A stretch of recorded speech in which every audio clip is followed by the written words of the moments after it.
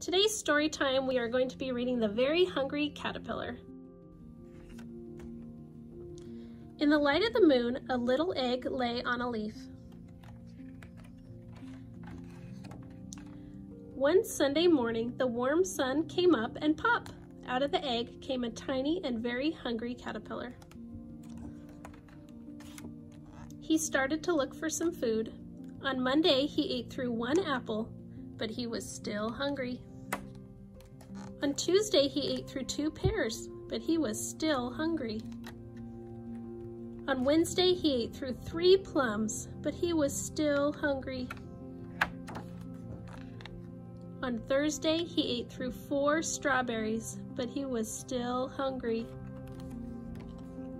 And on Friday, he ate through five oranges, but he was still hungry. On Saturday, he ate through one piece of chocolate cake, one ice cream cone, one pickle, one slice of Swiss cheese, one slice of salami, one lollipop, one piece of cherry pie, one sausage, one cupcake, and one slice of watermelon. That night he had a stomach ache.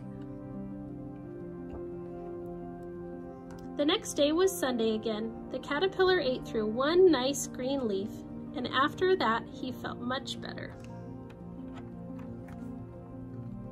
Now he wasn't hungry anymore, and he wasn't a little caterpillar anymore. He was a big, fat caterpillar. He built a small house called a cocoon around himself. He stayed inside for more than two weeks. Then he nibbled a hole in the cocoon, pushed his way out, and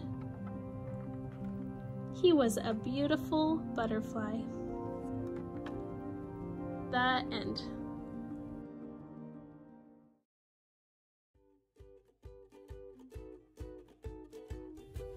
Guys, thanks for joining me for the craft. We are going to be making this butterfly life cycle craft after we read our Hungry Caterpillar book.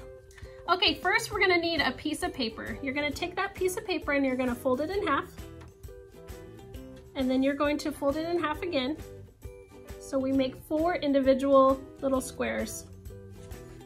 And each one of these squares is gonna represent one of the stages of our butterfly life cycle. So in our first part of our story, we learned that the butterfly um, laid an egg on a leaf. So we're gonna glue this egg, or we're gonna glue this leaf on to our first sequence here. And you can use rice, or I used some little um, bird seeds here. So I'm just gonna put some glue on and put those little eggs on the leaf.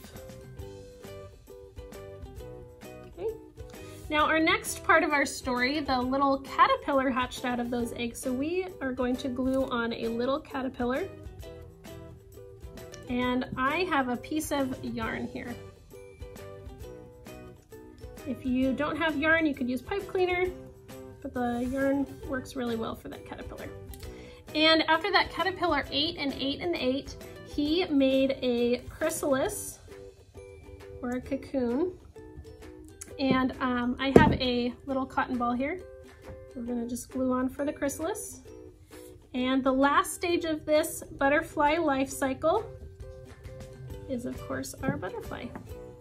So I just cut this out of paper and glue it on there. And there you go. There's your butterfly life cycle from egg, caterpillar, chrysalis to butterfly. Thank you guys for joining us.